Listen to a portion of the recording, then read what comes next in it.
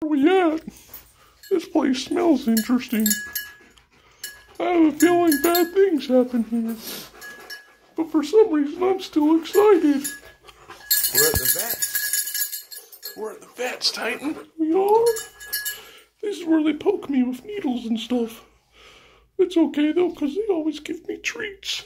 And that's what I want is a treat with peanut butter. Well, maybe you can get one today.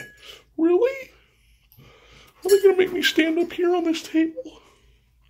They might. Yay, I'm excited to break the counter because I'm 75 pounds.